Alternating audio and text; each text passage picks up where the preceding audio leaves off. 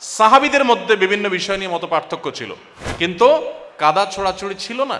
আমরা আছি আমাদের নিজেদের মধ্যকার যে মত পার্থক্যগুলো আছে, সেগুলোকে অনেক বড় বড় করে দেখাবার, সেগুলোকে অনেক হাইলাইট করাবার। আমরা মনে করি আমি ইসলামের অনেক খেদমত করে ফেলছি। আপনি ইসলামের খেদমত করছেন না, আপনি শয়তানের খেদমত করছেন।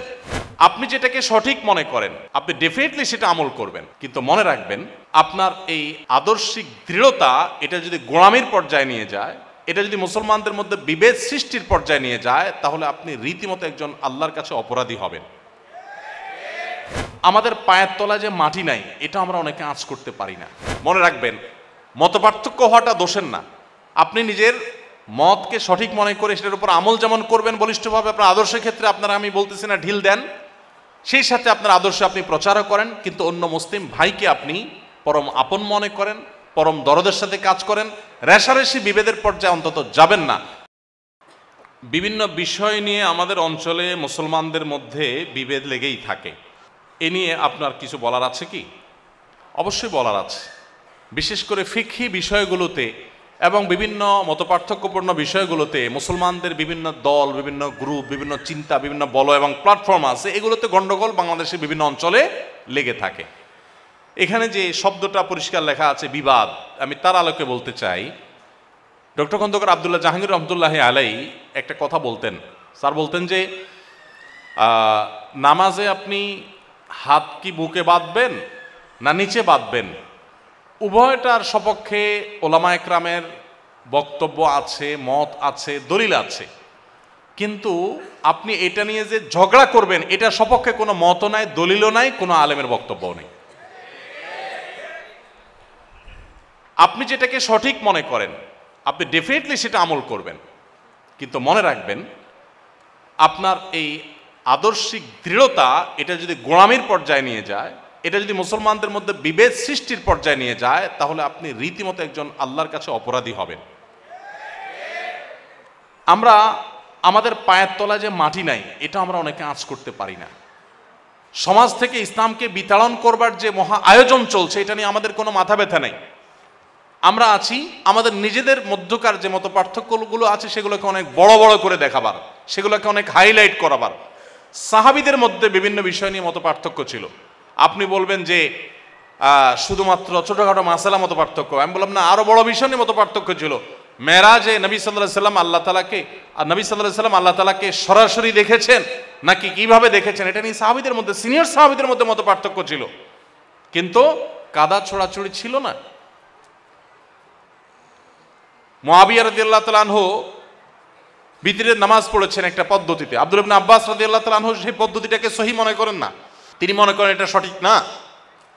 কেউ একজন তাকে দেখিয়ে বলছেন, আব্দুল ইবনে আব্বাস সিনিয়র আলেমদের বয়সে কম, কিন্তু আলেমদের মধ্যে সিনিয়র ছিলেন সাহাবিদের মধ্যে। কেউ একজন দেখিয়ে বলছেন যে এই যে মহাবিয়া দেখেন তো নামাজ পড়তেছে, বিতির, আপনি তো এইভাবে পড়ার কথা বলেন না উনি পড়তেছে। বোখারের হাদিস। তখন আব্দুল ইবনে আব্বাস বলেছেন দাহু ইন্নাহু ফকিহ। তাকে তারটা করতে দাও, তিনি একজন ফকিহ। একজন আলেম তিনি করছেন, তার মতটাকে কীভাবে রেসপেক্ট করেছেন, অথচ তিনি এটাকে সঠিক মনে করেন না। এখন শয়তান আমাদেরকে এত সিরিয়াস বানায় ফেলে, আমরা মনে করি আমি দিনের ক্ষেত্রে খুব সিরিয়াস আমি যে শয়তানের অস্ত্র আগায় দিচ্ছি, এটা আমি নিজের টেরো পাচ্ছি না। মনে রাখবেন, মতপার্থক্য হওয়াটা দোষের না। আপনি নিজের মতকে সঠিক মনে করে সেটার উপর আমল যেমন করবেন বলিষ্ঠভাবে আপনার আদর্শের ক্ষেত্রে আপনারা আমি বলতেছি না ঢিল দেন, সেই সাথে আপনার আদর্শ আপনি প্রচারও করেন, কিন্তু অন্য মুসলিম ভাইকে আপনি পরম আপন মনে করেন, পরম দরদের সাথে কাজ করেন, রেশারেশি বিভেদের পর্যায়ে অন্তত যাবেন না। আবদুল্লাহ জাহির রহমতুল্লাহ বলতেন যে একজন চরম বেদাতে লিপ্ত মানুষটাও পর্যন্ত আমার কাছে আমার ভাই মনে হয়, আমার নিজের মায়ের পেটের ভাই যদি নেশাগ্রস্ত হয়ে রাস্তার কোনাকাঞ্চিতে পড়ে থাকতো তার প্রতি যে মায়া হতো, বেদাতে লিপ্ত মানুষটার প্রতি আমার সে মায়া হয়, আমার জেদ হয় না, আমার ঘৃণা বা আমার সে তাকে প্রতিপক্ষ মনে করে যে একটা মারমার মার কাট কাট ভাব, সেটা হয় না, আমার মায়া হয়, করুণা হয়। ডেফিনেটলি তার অবস্থানটাকে আমি অপছন্দ করি, কিন্তু তার প্রতি আমার করুণা হয়। আজ আমাদের সেই দরদি মানসিকতা নেই। এর মধ্য দিয়ে আমরা নিজেদের প্রবৃত্তির পুজো করি, মোটেও ইসলামের খেদমত করি না। আমরা মনে করি আমি ইসলামের অনেক খেদমত করে ফেলছি। আপনি ইসলামের খেদমত করছেন না, আপনি শয়তানের খেদমত করছেন? খুব পরিষ্কার। মনে রাখবেন। আমরা সবাই পদ্ধতি নিয়ে অনেক মত পার্থক্য এবং গন্ডগোল ফাসাদ করছি। বিষয়টাকে একটা উপমা দিয়ে আমরা বুঝতে পারি। ধরুন, একটা শত্রু আপনার সামনে এসে পড়েছে। এখন শত্রুকে, সরেন, আমি চাটা খাই না কখনো, আলোচনা। একটা শত্রু এসছে মনে করেন। এই শত্রুকে কয়েকজন মানুষ ঘায়েল করতে চাচ্ছে। ধরেন একটা সাপ আসছে বা কিছু একটা আসছে।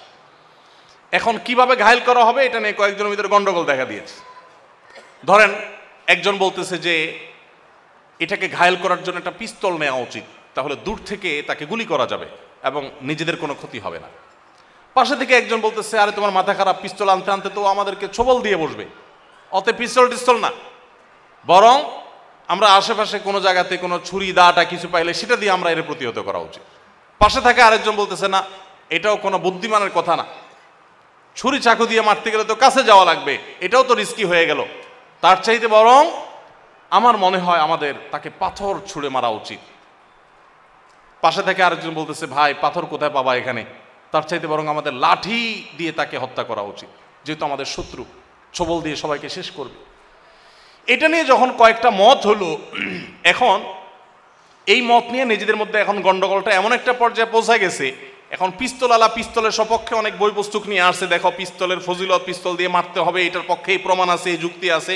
লাঠিয়ালা তারগুলো নিয়ে আসছে, আর পাথরালা তারগুলো নিয়ে আসছে, ওই ছুরিয়ালা তারগুলো নিয়ে আসছে। সবাই যার যার দলিল প্রমাণ নিয়ে আসতেছে, এই দলিল প্রমাণ দিয়ে পারতেছে না, তখন হাতা গোছানো শুরু করছে গ্রুপিং হয়ে যাচ্ছে, আলাদা হয়ে যাচ্ছে। এদিকে তখন সাপ চিন্তা করতেছে, এই সুযোগ। একটা একটা করে সবগুলাকে ছবল দিয়ে দিয়ে শেষ করে দেয়। আজ আমাদের মুসলমানদের এই অবস্থা হয়ে গেছে। আমার কাছে যেটা উত্তম মনে হয় ডেফিনেটলি আমি সেটা দিয়ে শত্রু মোকাবেলা শুরু করব। তোমার কাছে যেটা উত্তম মনে হয়, তুমি তোমারটা দিয়ে শুরু করো। তুমি তোমারটা দিয়ে শুরু করো। এখন নিজেরা নিজেরা প্রতিহত করা করিতে লেগে গেছে, আমাদের শত্রুকে ভুলে গিয়ে।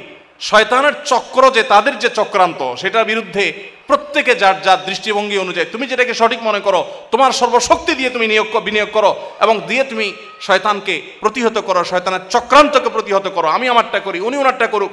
তাহলে তো আমরা কেউ একজন সফল, সাফল্য পেলেই তো সবাই সাফল্য পেয়ে যাব। কিন্তু আমরা সেটা না করে নিজেদের মধ্যে গন্ডগোলে লেগে গেছি। আমাদের মূল শত্রু বাদ দিয়ে নিজেদেরকে আমরা শত্রু বানিয়ে ফেলেছি। আল্লাহ তালা আমাদের সবাইকে এই নিজেদের মধ্যকার যে সমস্ত দ্বন্দ্ব গণ্ডগোল ফাসাদ, বিবাদ, এগুলো থেকে বেঁচে থাকার তৌফিক দান করুন। আমরা অবশ্যই নিজে আদর্শে অটল থাকব, কিন্তু আমার আহলে কেবলা ভাই, আমার রাসুলকে রাসুল বলেন, আমার নবীকে নবী মানেন, আমার কেবলাকে কেবলা মানেন, আমার কোরআনকে কোরআন মানেন, আমার হাদিসকে হাদিস মানেন, তার সাথে আমার কোনো বিষয়ে তেমন মত পার্থক্য নেই। যে সমস্ত বিষয় মতো পার্থক্য আছে, সেগুলোকে অনেক বড় করে না দেখলেও হয়, কিন্তু তাকে আমি আমার প্রতিপক্ষ বানাচ্ছি।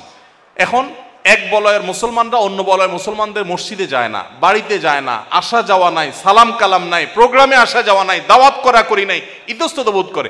আমাকে অনেকে বলে, আপনি সব জায়গায় যান কেন?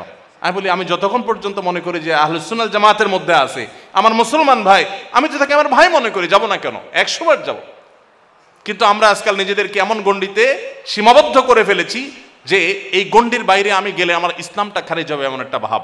অথচ আমরা ইসলাম বিরোধী অনেকের সাথে আতাত করি, তথাকথিত হেকমতের নাম দিয়া। তাদের সাথে হাত মিলাই, তাদেরকে বুক মিলাই। কিন্তু আমার মুসলিম ভাইকে আমার আপন মনে করতে কষ্ট হয়। আল্লাহ তো আমাদের সবাইকে হেদায়ত দান করুন। এরপর প্রশ্ন হলো দেশে যে পরিমাণ বেকারত্ব দিন দিন বেড়েই চলেছে, সে অনুযায়ী সরকারি বা বেসরকারি চাকরির সুযোগ খুবই সীমিত। কিন্তু বর্তমানে ব্যবসা করতে গেলে মূলধন প্রয়োজন, আমাদের মূলধন নেই। ঋণ নিতে গেলে সুদী কারবারের থেকে নিতে হয়। এক্ষেত্রে আসন্না ফাউন্ডেশন কোনো উদ্যোগ নেবে কিনা, ইসলামী শরিয়া মোতাবেক ঋণের কোনো সুযোগ করতে পারবে কিনা। দেখুন, আসন্না ফাউন্ডেশন ঋণ দেওয়ার জন্য অথরাইজড কোনো প্রতিষ্ঠান না। আমাদের কাজগুলো কি হতে পারে, সেটার জন্য নির্দিষ্ট নীতিমালা আছে, গঠনতন্ত্র মেমোরান্ডাম আছে। এর বাইরে আমরা চাইলে অনেক কাজ করতে পারি না। ঋণ দেওয়ার জন্য যে লাইসেন্সের প্রয়োজন, যে আপনার অথরিটি হওয়ার প্রয়োজন, সেটা আসন্ন ফাউন্ডেশন না। যার কারণে আমাদের ঋণ দেওয়ার কোনো প্রকল্প আসলে নাই। বাকি এটা যদি কেউ করতে পারেন অফিসিয়ালি অত্যন্ত ভালো কাজ। আমরা যে সমস্ত কাজগুলো করছি, সেগুলোই শেষ করা আমাদের জন্য কঠিন। নতুন করে আরেকটা প্রজেক্ট শুরু করা সম্পূর্ণ ভিন্ন দাঁচের নতুন করে, সেটা কঠিন। তবে আমরা আশা করব কেউ না কেউ কোনো না কোনো আল্লাহর বান্দা সুদমুক্ত সমাজ ব্যবস্থা গড়ে তোলবার জন্য করজে হাসানাকে অফিসিয়াল কাজ হিসাবে বা প্রজেক্ট হিসাবে নিয়ে কাজ করবেন, আল্লাহ তালা সে তফিক দান করুন। আর যারা চাকরির জন্য চাকরির জন্য হন্য হয়ে ঘুরছেন, আমি তাদেরকে বলি, আল্লাহর ওয়াস্তে চাকরি পেলে তো ভালো, চাকরি কোনো খারাপ জিনিস আমি তা বলছি না, কিন্তু আল্লাহর ওয়াস্তে আপনি চাকরির জন্য লালায়িত না থেকে উদ্যোক্তা হয়ে যান, ছোট্ট কিছু থেকে শুরু করে দেন। ব্যবসা করার জন্য অনেকগুলো টাকা দরকার হয়। এই চিন্তাটা হলো একজন ব্যর্থ মানুষের চিন্তা। কোনো সফল ব্যবসায়ী টাকা দিয়ে ব্যবসা শুরু করে না। সকল সফল ব্যবসায়ী ব্যবসা শুরু করে, তার আইডিয়া দিয়ে, তার পরিশ্রম দিয়ে, তার চেষ্টা দিয়ে, এরপর সেটা আস্তে আস্তে সামনের দিকে বাড়ে। অতএব এক গাদা টাকা হলে আমি ব্যবসা করে ফেলব, অনেক কিছু করে ফেলব, এটা ভুল ধারণা।